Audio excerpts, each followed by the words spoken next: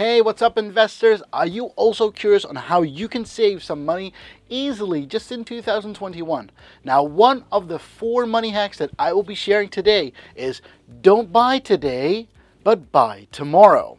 Now, if you're wondering what that actually means, well, be sure to keep on watching as I will be sharing four money hacks that will help you save some money here in 2021. My name is Lukas, and as an investor from xlwealth.com, I'm always interested in sharing my ideas on personal finance, investing, and real estate.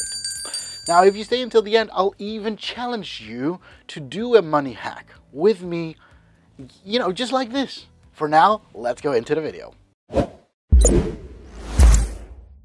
Okay, let's go back to the don't buy today but buy tomorrow. Now, I'm sure you've heard of this one before, and really, you know, it, you just really have to do it. What it says, just like that. If there's something that you'd really want to buy, tell yourself it's okay to buy. There's one requirement, and that is don't buy today, but sleep over it. And if it's still the urge the next day, tomorrow, the next day, if you still have the urge, then buy it. Now, I can see you thinking, Lukas, why is this a money hack? This is just buying the product a day later. Absolutely. But did you know that the most purchases we make are spontaneous purchases that we make on the spot? Because let me let me ask you this: the moment you buy something, I'm and I'm not talking about the groceries or something, but when you're trying to buy a new phone or a new laptop or something that is just a little bit too expensive for you to buy every day, and these are the products that if you really look into, these are the products that most people really enjoy researching before time, before actually purchasing. Now, for example, phones. Now, I'll tell you this, I love phones. Now, it's not that I buy a new phone every day. I, I don't. You know, I'm, I'm not a phone reviewer on YouTube. But when I know it is time for me to buy a new phone, I'll tell you this, I really enjoy comparing all those phone models with each other. Now, what would be the best deal? What would I need in the best phone? What would I want to have in a new phone? Would it be better to buy, uh, you know, like the flagship of last year, or would it be better to buy a budget phone from this year?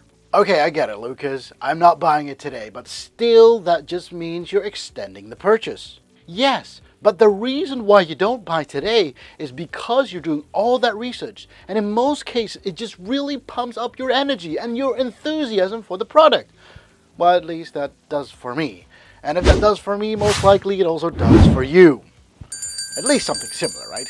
So if you sleep on it for at least a day, and tomorrow, the moment when you wake up, you you just have your normal day. You just do your thing, and you still believe that you really need this product. Well, then maybe it is a necessary buy. Maybe you really need it. Maybe if if it's still there for you to buy, you think I really need this. Then you know you can just buy it.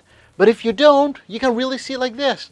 You can live without the product. And most likely, if you did buy it, it would have been an unnecessary purchase. And this way, you will have saved your money straight away. Now, the second money hack that I would like to share with you is remember, you always have a choice each and every time you want to purchase a product. Now, this time we could think about daily products. Okay, Lukas, daily products, so what do you mean? Like something like a cup of coffee or something? Absolutely. Now, when we use that example of cup of coffee, if you go to work every day and you buy a Starbucks coffee every morning just before you go to work, that'll cost you about $5 each time you take that venti cup of a coffee. Now, I'm not saying that you're not allowed to have any cup of coffee, but you got to think about like like this. If you do this five days a week and about 40 weeks a year, taking into account that you have holidays and that some days you don't really buy, but most days you do. So 40 weeks a year, that would, you know, because, you know, sometimes the queue was too long, you didn't want to wait, so, or you couldn't buy, or the, you know, you got to catch a train or whatever. You get the idea. Well, 40 weeks, five days a week is about a $1,000 that you spend on coffee each year just because you had that one cup of coffee. Now, coming back to the money hack number two, that you have a choice each and every day, that just means would you rather have the product or would you rather have the money? Now, if I would tell you that you would have to wait a year and I would give you a thousand bucks, just like that, like here you are, a thousand bucks. Or would you just say, no, no, you know what, Lukas, keep your thousand bucks. I can at least keep drinking that cup of coffee every morning I go to work. Well, my question is to you, what would you rather have? Well, that really depends. Now, I can't make a choice that is just black or white. It's not either I want to have the money or I want to have the coffee. You know, I in the end, I actually want to have both money and coffee. Ah, there you have it. That's your dilemma. Now, you know that you can make your own coffee each morning. Take that coffee along in a thermos flask, you know, in those bottles that keep your drink either hot or cold for several hours. Now, this way you can save your money straight away. And if you think about it, it'll cost you maybe about a dollar to prepare that cup of coffee, you know, the moment you take your own coffee, you know, from home. And using those numbers, you know, using those same numbers, the moment you have five days a week, 40 weeks in a year, that'll cost you about $200 per year. That means you've saved up $800 per year, just like that, because you take away your own coffee. Ha! Lukas, that all sounds nice, but I'll tell you this, I don't drink any coffee to start out with. So I just saved that $1,000 a year right away.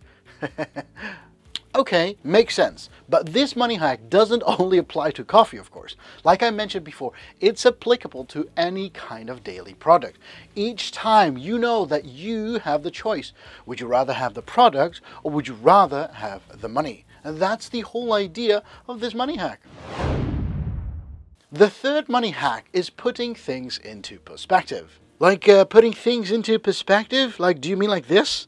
Like, should I look at things differently or something? I, I don't get it. You tell me. Well, to be honest, actually, yes. Whenever you spend money, you gotta put it into perspective. Like, how many hours do I have to work for it to be able to pay for this product?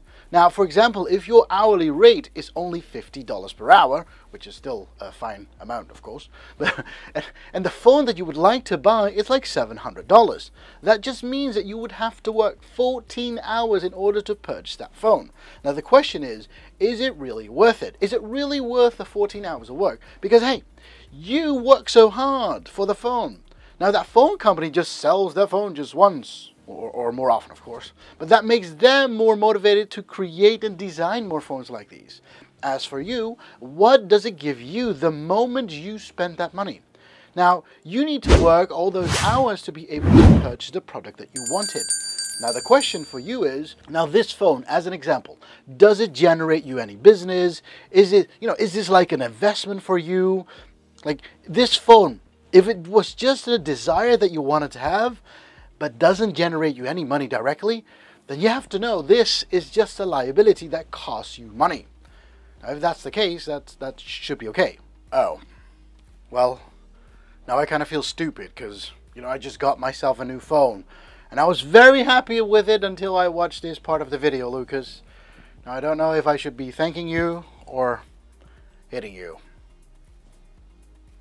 Well, I'm sorry. It's, it's you know, I, don't, I don't want to make you feel sad, but I want to make you aware that you have to put things into perspective the next time you buy products. Now, don't let things like this make you feel bad, but you have to compare it to something else. Like, you know, if you think about it, it's like wanting to eat that delicious chocolate bar. The moment you eat it, you know, you think about it, ooh, it's delicious, I want it. But the moment you finish it, you feel horrible because, you know, it wasn't that great in the end. And, if you put it into perspective, you, the only thing is you gain some, uh, you, you gain some possibly weight, you know? Okay, Lukas, you're not making things any better by saying things like this. Okay, so maybe it's a good idea to move on to our next money hack. Okay, so our previous money hacks were about how you can save money by looking at things differently. Now this last money hack that I would like to share with you is that you should also look at future values of the products that you're going to buy. Now, let's go back to the example of that cup of coffee. Now, if you believe that this cup of coffee from the Starbucks is necessary, well, sure, no, that, that's very important.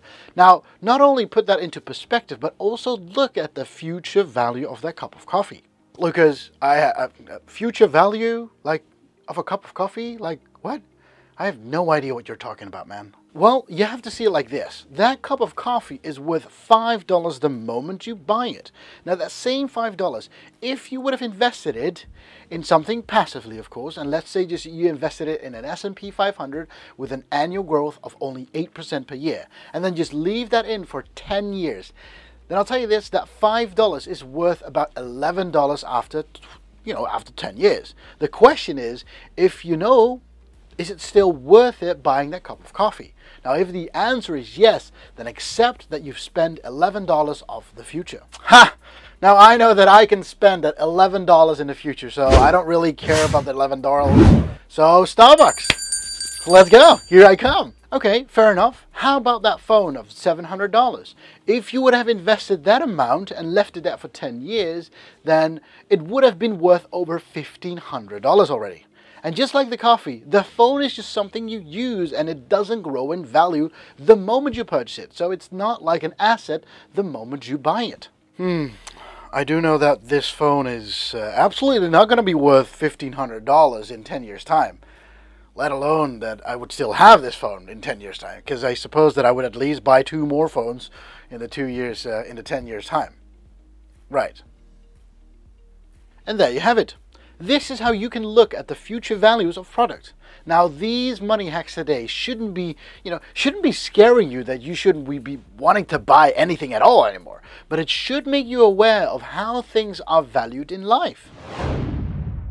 And you know what? Since you stayed until the end, we could make this an even more interesting money hack video if you want to. Now, each time you're already faced with the choice buying the product or not buying the product. And if you're not buying the product then, then of course, you know, therefore you're actually choosing to stick with the money. You know, that's the choice that you've made. And with that, please note down how much money you've saved just now. Now, this is something that I would like to challenge you on for one month. Every time you've saved money, write it down. How much was it amount? How much was it possibly worth? Now, what was it? Like each time you'll see like, you know, I wanted to buy this cup of coffee, but I didn't. So I just saved five bucks. Oh, I just wanted to buy this chicken sandwich on the 6th of the month, you know, this, this month. But I didn't, so I saved that money again. Now I'll tell you this, by the end of the month, you should be able to see the whole list of things that you've saved and didn't buy. Because in the end, you got to see like this, these are the urges that you've resisted. And believe me, the moment you see this list of products that you've resisted, most likely, I'll tell you this, they weren't that much interesting to begin with. They were just a waste of your money if you did buy them. Because it seemed like, you know, you survived and you didn't miss out on anything. Now that the time has passed, of course. The moment you take a look at this list of products, at the end of the month, let me tell you this, you will be super proud of yourself. Thinking like, wow, you know what? I just resisted it. I know I made it. And this is what I saved. It's to make you super proud. And you think like, you know, I can be saving money far more consciously. So my question to you is, are you going to take on this challenge? And if you are, let me know down below in the comments if you're to do this. Because if you're to do this, I'm to join you with you. And with that, I would like to thank you for watching today's video. If you liked it, be sure to let me know down below in the comments and smash that like button because, you know, it will really influence YouTube algorithms. Well, that's a difficult word to say. and of course, if you haven't hit that subscribe button yet, be sure to do so because then you'll become an XL crew member. I thank you very much for watching. I'll see you on the next Happy Investing. Bye-bye.